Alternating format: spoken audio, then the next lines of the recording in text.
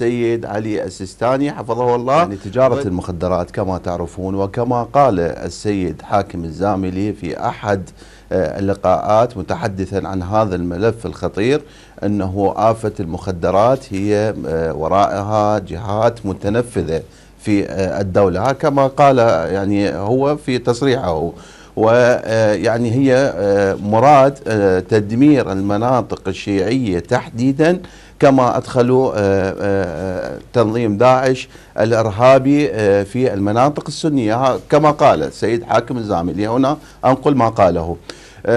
قضية المخدرات حقيقة تحتاج إلى شخصية قوية كشخصية حاكم الزاملي الذي يمتلك كتلة قوية والذي يمتلك تيار قوي ويسعى إلى الإصلاح ومكافحة الفساد وأهم فقرة يعني هي إصلاح المجتمع ولا يصلح المجتمع وفيه هذا الكم الهائل من المخدرات. آه، المشكلة آه، أنه آه، قضية المخدرات ينظر لها في العراق من وجهة نظر أمنية بحت وهذا الموضوع غير صحيح لأنه الكل لابد أن يشارك يعني المؤسسات الأمنية المؤسسة الدينية المؤسسة العشائرية. أنا طالبت من أحد من عبر أحد القنوات طالبت بفتوى مشابهة للفتوى التي آه، أعلنها السيد علي السيستاني حفظه الله ضد آه، تنظيم داعش الإرهابي. لأن اليوم هذه حقيقة آفة المخدرات بدأت تستشري في آه، المجتمع وبدأت يعني تظهر ظواهرها الخطيرة من عنف أسري من قتل من انتحار.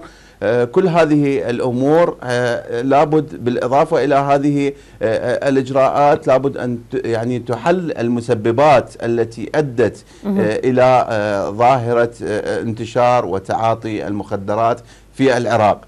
حقيقة الموضوع خطير وخطير جدا ولا هذا هم وطني لابد على الجميع أن يتحرك اليوم كل المؤسسات اليوم اليوم لازم يكون عندنا آه، يعني شلون عندنا مؤسسات آه، آه، مناضلين لحقوق الإنسان لازم يكون عندنا مناضلين في مكافحة انتشار وتعاطي المخدرات. اليوم لابد على الحكومة أن تدعم المنظمات منظمات المجتمع المدني. كثير من المنظمات أنا ناس هو يعرفهم أساتذة جامعات وناس محترمين يريد يتحركون على هذا الملف لكن حقيقة يخافون يعني موضوع خطر لربما حتى اللي يتكلم به هو يعني آه، أهم خطر آه، يعني تمثل خطورة بهذا الموضوع.